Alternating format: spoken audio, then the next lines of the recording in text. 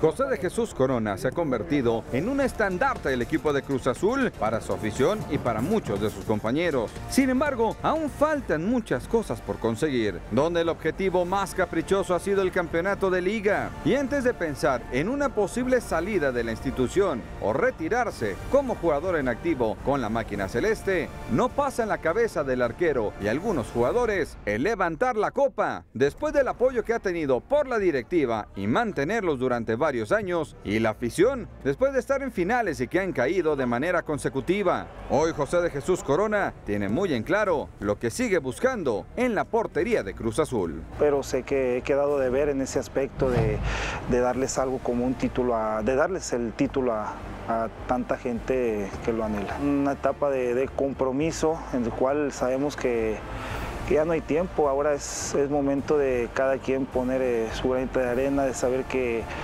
eh, que todo lo que hemos vivido en el pasado, pues eh, aprender de ello y, ahora sí que ponerlo en práctica. Han sido momentos muy, muy difíciles para mí, para los compañeros, eh, para la misma familia, ¿no?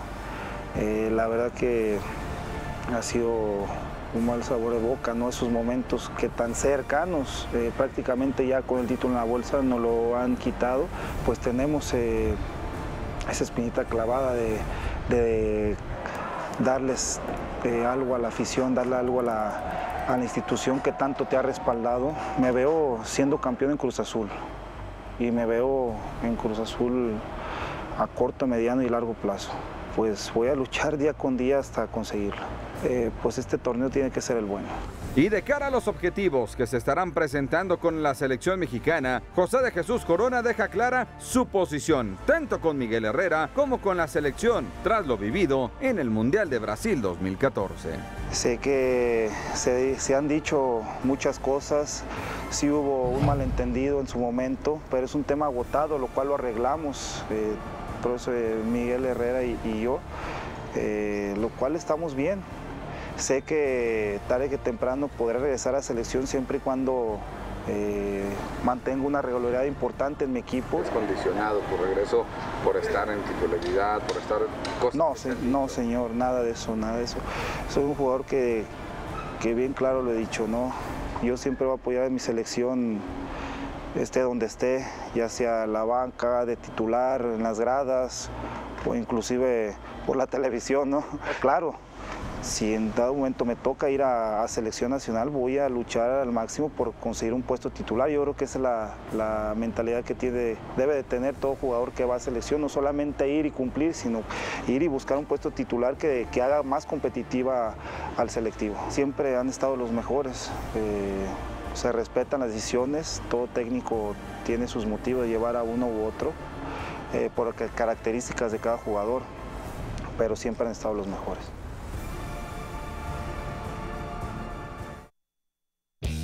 Palabras de Chuy Corona, mi querido Víctor Edu, dice, voy a ser campeón con Cruz Azul. ¿Cuándo? Porque yo escucho a Torrado, voy a ser campeón. Al Maza, que va a ser campeón. Al Chaco, que también van a ser campeón. Ahora, Chuy Corona, uno de los últimos estandartes de Cruz Azul, también va a ser campeón. Que, nos diga cuándo va a ser campeón Chuy Corona con Cruz Azul, Víctor. bueno, imagínate, si, si supiéramos qué, año va a llegar eso, pues le apostamos al Melate, ¿no? el interesar. Llevo años esperando ese, ese momento y no. Cruz Azulino eres, Víctor. Sí, sí, sí. Le voy a Cruz Azul. ¿Y la ilusión cómo está? Pues eh, yo, fíjate, yo creo que Cruz Azul tiene una, una capacidad eh, única en el, en el fútbol mexicano porque suele ilusionar a sus aficionados cada torneo y cada torneo es cíclico.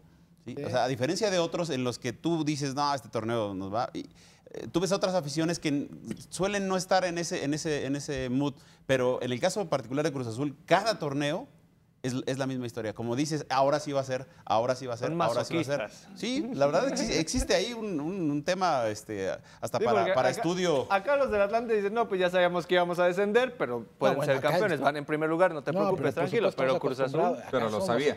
Sí, pero, pero el, aficionado Cruz Azul suele tener esa, esa actitud cada torneo de este sí va a ser, este sí va a ser. La ilusión, la ilusión nunca. Y, es como un niño, está ilusionado todo el tiempo. Sí, y a mí me da la impresión de que la directiva ya se sabe bien el numerito y cuando siempre que viene un hay un torneo malo, como fue el anterior, suelen hacer un, un fichaje más o menos importante, como fue ahora el de Roque Santa Cruz.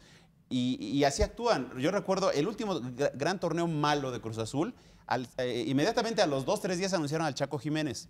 Entonces, oh, de nuevo regresó este, La ilusión, La ¿no? ilusión. y Chaco que venía de Pachuca, Sí, que sí, sí. multiganador. Suelen hacer eso eh, los dirigentes de Cruz Azul eh, porque se dan cuenta que la gente, el torneo pasado, eh, las asistencias se les cayeron casi 45%. De por sí el Estadio Azul no, no es un escenario que esté lleno este, regularmente. Estaban promediando casi unas 18 o 20 mil personas y terminaron los últimos partidos con 12 mil personas en, en el estadio. O sea, la gente sí estaba desencantada con lo que estaba sucediendo. Se van a- a- a al Mundial de Clubes y pues ya, ya conocemos la historia, pero yo creo que Chuy Corona ah, está en su papel de decir, ah, yo quiero ser campeón con el equipo. Mal haría en decir... Pero, en no, decir Yo hoy al que- arranque del torneo, a pesar de que no han perdido, yo no veo esa afición confiada en su equipo. Al contrario, veo críticas en cuanto a las formas, ¿no? En que, Pero, pero ¿viste cómo estaba el estadio? en las que se moviendo. Se sí. llenó, se llenó el sábado. Sí, sí, sí, el de eh, aquí, Ajá, el sí. de Pero no ves más a, a Chuy pensando digo, en lo de la selección. Está más, creo, más cercano lo de la selección regresar que realmente el título con Cruz Azul. Pero a ver, Y las en formas el- como se ha haciendo animado yo. asperezas también con... pero en el tema de la, de Sí, la no creo que haya selección, yo sigo convencido que Miguel Herrera, a la Copa en este siempre. proceso, más allá de si es suplente o no en Europa, su portero titular va a ser Memo Ochoa. O sea, Chuy Corona tiene que ser consciente que él va a ser el arquero suplente y que probablemente le alcance solamente para ir como titular a la que Copa para el América. verano será titular en uno de los torneos. Mañana te dirán sobre cuál van, ¿no? Claro. ¿Cuál les interesa? Sí, la mañana se Copa. Oro. Mañana La te Copa dicen, que pero, sin que no lo digan. mañana- la Copa Oro es la que prioridad la- para la recuerda Federación la Mexicana de gente, Fútbol. mañana la Dirección de Selecciones Nacionales presenta ¿no? su, su plan, Plan de trabajo de y este objetivos.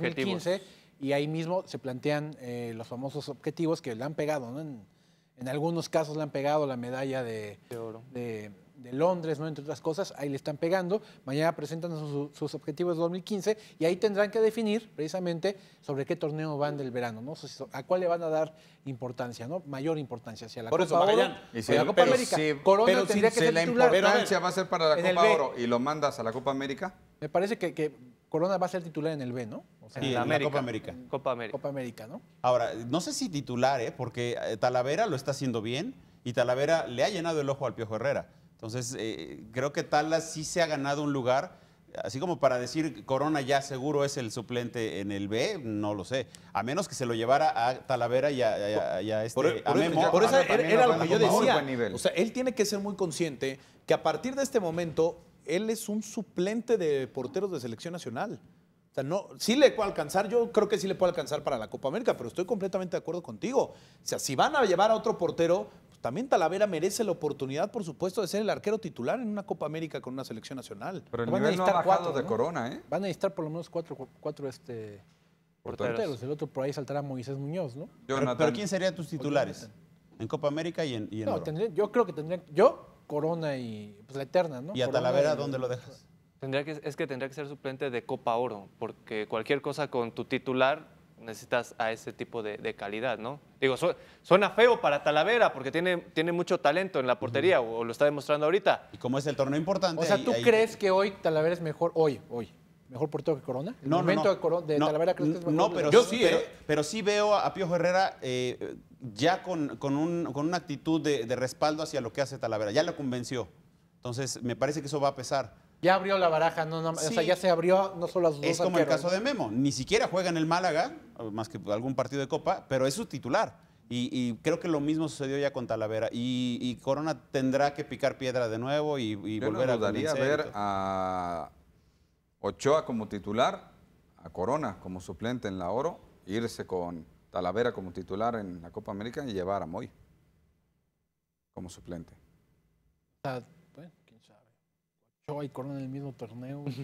En el, otra mismo, vez. en el mismo grupo. Sí, porque además es, es, es calentar un poquito más el ambiente, ¿no? Porque todos sabemos la historia. E innecesario en- en este momento, Esta ¿eh? situación eh, truena cuando a Corona le dicen, ¿sabes qué? El titular en la Copa del Mundo va a ser Memo Ochoa cuando él venía pues, ya con el chip, como a Ochoa le pasó en Sudáfrica 2010. Yo eh, quiero entender que tampoco van a decir que son los mejores amigos o los compadres, pero yo sí creo que sería una tontería de Miguel llevar a los dos al mismo torneo. En este momento, En ¿no? este momento, ¿no? Sí, no. Sí, te, te puede enrarecer el ambiente. Enrarece el vestidor enormemente. Sí, sí, sí.